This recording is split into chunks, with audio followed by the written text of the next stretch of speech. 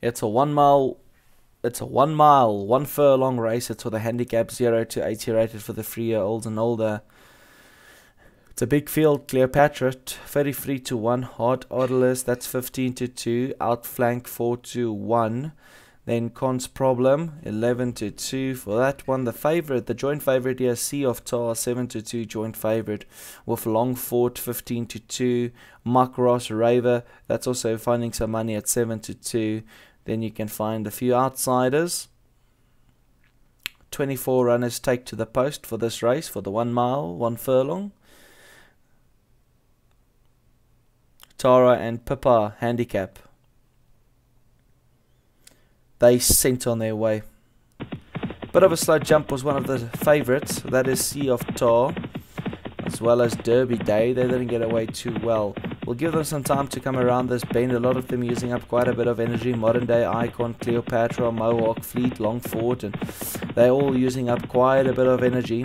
Agnes is also further back, and Sea of Tar made up many lengths from that bad jump and is now settling in about five lengths from the leader. Then we have a bunched up runners for in the midfield. That's points Washington. Then you can find Barney fi uh, five, Foxley Truffle, Polly Black. That's Me Miguel. Caroline, Derby Day, and at the back, Timeless Spirit is going to have to catch them all with five furlongs left to go as they make that long turn in for home. They're about to approach that turn.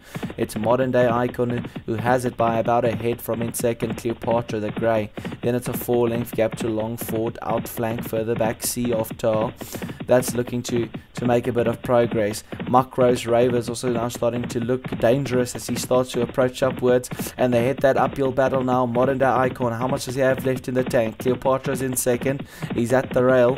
Sea of Tars also running on quite nicely, as well as outflank Macross, Raver, Longford, Points, Washington, Share and Tahiti Image is also looking to run on nicely, but it's modern day icon as they get down to the last two furlongs. Cleopatra is now in second. Sea of Tar from the back of the field. Sea of Tars making a lot of work here, and he's getting closer with each and every stride. Cleopatra towards the inside, and in the in the middle, the green that's Macross Raver, who's also looking to finish quite strongly, but it's Cleopatra has picked it up into the closing stages with Mokros Raver is not done with the fight. It's now head to head, eyeball to eyeball. It's Mokros Raver, Cleopatra, take your pick. Mokros Raver put his head down, wins. Cleopatra second, very close for third, not sure who got there.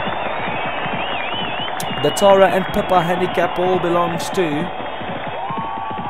There's the confirmation to Mock Roz Raver, 7 to 2 favorite, prevails. The 50 to 1 keeps the 50 to 1. Cleopatra D, uh, D French at bay. Sea of Tar ran a good whiff. Maybe, uh, maybe if Sea of Tar just jumped a little bit better, that one would have been in the race.